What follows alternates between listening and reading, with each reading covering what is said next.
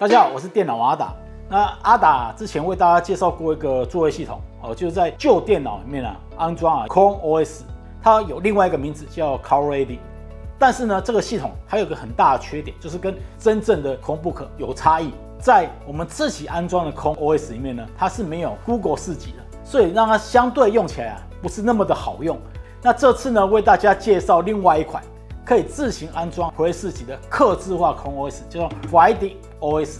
那这一套作业系统呢，它是由中国那边的团队修改 Chrome OS 所做出来的一个作业系统。如果大家听到中国就开始高潮啊，还是觉得会有问题的话，那你可以关掉这个影片，不用再继续看了。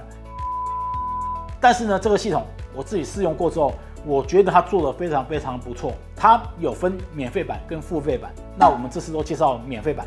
那接下来就为大家做一个简单的介绍与安装教学。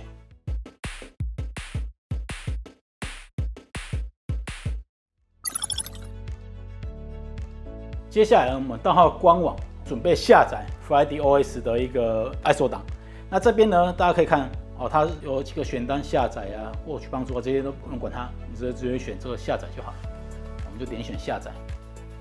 那在下载这边呢，它会有几个选项。第一个是 PC，就是我们等下要用的。那这个是可以装在虚拟机，你也可以用虚拟机先测。那第三个是定制，定制是要钱的，所以这边我们就不管。那接下来我们看到这个 Friday OS for PC，那它会有三个选项。第一个是使用酷睿三代到八代，我这边这一台呢，它是 Pentium 的处理器，所以要用的话，我是会选择第一个，然后去下载它的 ISO 档。那第二个呢，就是九代到十一代。那第三个就是你不确定的话，或者是 AMD 处理器，就选第三个。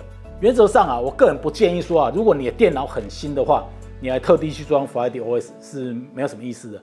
我们点这一个之后呢，那它会有几个选项哦，ISO 啊，镜像一、镜像二。我个人会建议你使用镜像二去下载，点下去它就开始下载了。那在下载的中间呢，然后你可以往下移动，哦，这边它这边就有一个安装指南。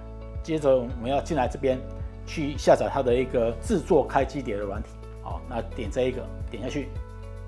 就会到这开机碟的制作软体的网站去，那一样是点击下载，哦，那接着就等它全部下载完之后，哦，我们再继续做一个制作开机碟的动作，那这个动作也不会很久，但是呢，我个人强烈建议说，你的开机碟一定要选择一个读写很快的，如果速度很慢的话，你在安装软体很容易失败，因为你会劣格到怀疑人生，你会觉得到底是不是坏了。那第二点呢，就是说制作完成的时候。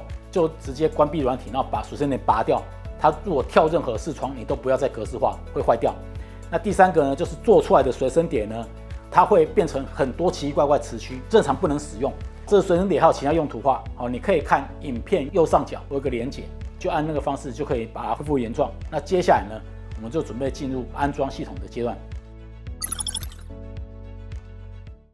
好，现在安装完这个随身碟软体之后，接下来我们只要选这个，它烧档案，这个其实非常简单。你看我们桌面这个档案，那你就直接选这个，好，选完之后再选 USB 路径，这边就千万不要选错，选错的话你一定会后悔一辈子。那跑完呢，开机碟又做完，就这么简单，完成了。这个会拔起来。我们制作完开机碟之后呢，之后把它插在我们电脑上，那接下来就直接开机，进入 BIOS。那进入 BIOS 呢，每台机器又不一样，有的是按 Delete，有的是按 F2。好，那我这台是按 F2。接下来我们就开机。好，那接下来这边选择开机的顺序，我们把随身碟开机的顺序把它调到前面来。好，那接着就存档并离开。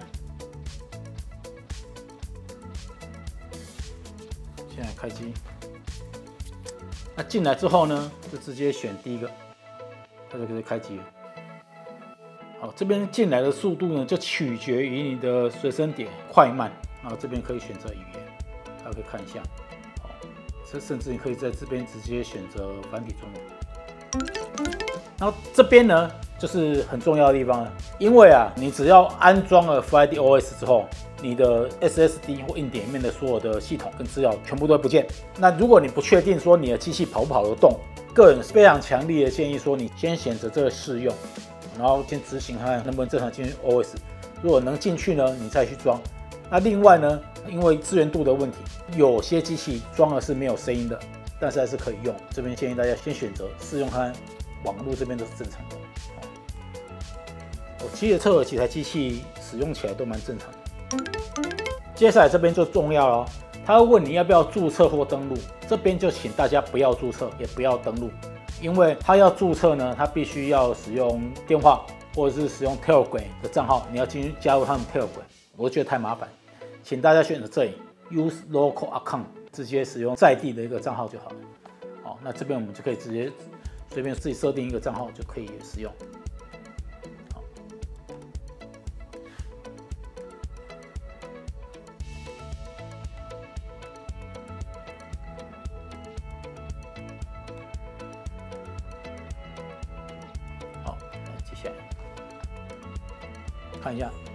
如果正常化，这边你就可以看到它的系统部分这边全部都是可以使用的。这里它可以算是个完整功能的一个系统哦。你也可以直接用随身碟的方式直接来运行这个系统，也是没有任何问题的。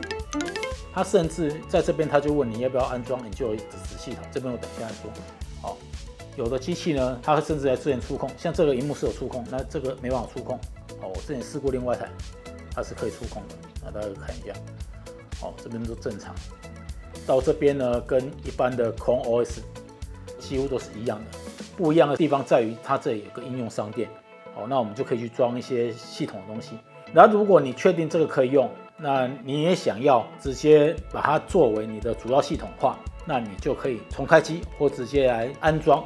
那接下来呢，我们就准备做安装的动作。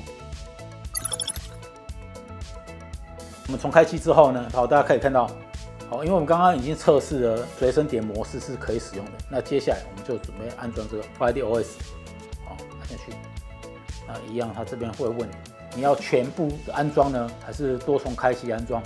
哦，就看你自己怎么选。全部安装的话，就是里面资料全部都会洗掉。建议你一定要先备份你的资料，把你的作业系统啊、续航那些都抄完，那不然就直接选那个多重开机。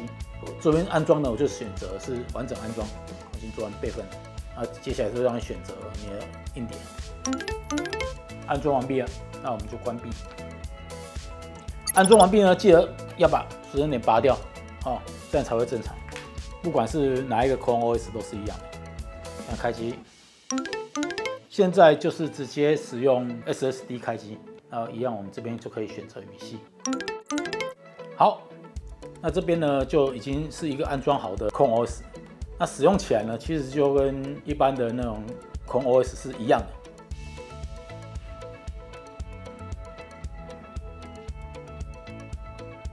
使用正常，播放影片正常。哦，我也测过其他的影音平台都是正常。好，要播放 Netflix 或 Disney Plus 的话，请记得来这一个 Friday OS 的 Setting。记得将这个 Enable Wide 打开，不然话它会没办法播放。打开它之后重启，播放就会正常。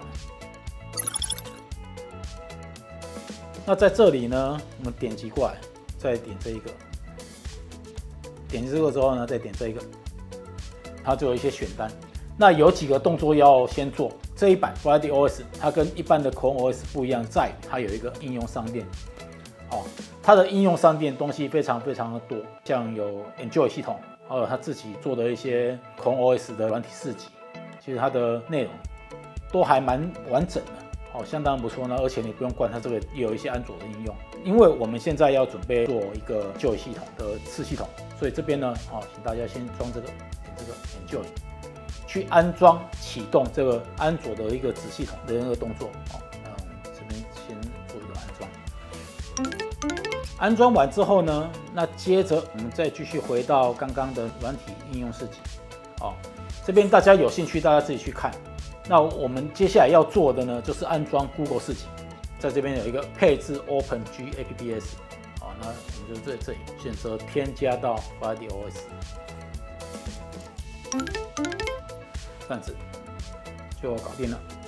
接下来我们一样可以看这边。那大家看啊，这边有一个线上的应用，有没有？好，这个就是跟 Google 的线上应用市集是完全一样的。好，那你也可以在这边直接登录你的 Google 账号，它其实就会把你的资讯同步过来。如果不安心的话，你可以另外去下载 Chrome 版。好，那接下来另外一个，大家可以看到下面这已经多出一个 Google Enjoy 的应用四级。好，那我们也可以从这边进来。好，那这边就直接登录你的账号。好，大家看一下。哦，这边就是 Google Play。好，我们随便找一个 APP 来测试看看。它是安装的时候，顺便简单为大家介绍一下这个系统。它这边跟 Chrome OS 一样，我们点这边呢，哦，它这边就有一些连线，譬如说像 WiFi、蓝牙。有的机器呢，它会没有声音。如果你的机器弄完了，它是没有声音的话，你可以用蓝牙配对的方式去外接个蓝牙喇叭，然后它就会有声音。好，虽然它音效卡没有驱动，但是你用蓝牙方式还是可以让它有声音的。然后这边的操作呢，其实都是差不多大同小异。啊，它一样也有一些设定的界面。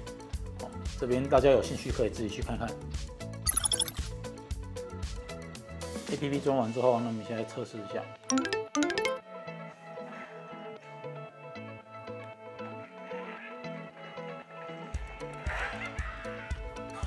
这个的速度呢，是比我之前用像一些模拟器啊，还是其他的去跑，这个速很多了。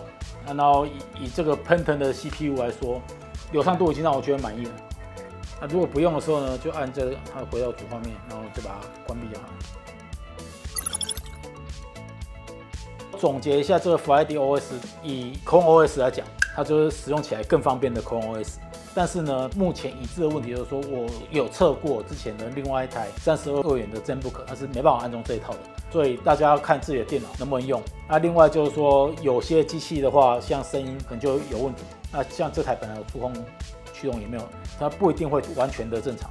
所以在使用前呢，建议还是用随身点模式下去跑看。哦，如果你觉得这样满意。那你再去安装。那另外，如果说你是对中国人开发的刻字化的应用有疑虑的话，你也不要用。但整体来说，就这蛮方便。它使用起来就跟之前自己买的那一台 Chrome OS 快多了，而且最主要处理器也比较好，那用起来会更顺。哦，也分享给大家参考。我是电脑王阿达，如果喜欢这段教学影片呢，记得按赞、订阅，以开启小铃铛。我们下次影片见，拜拜。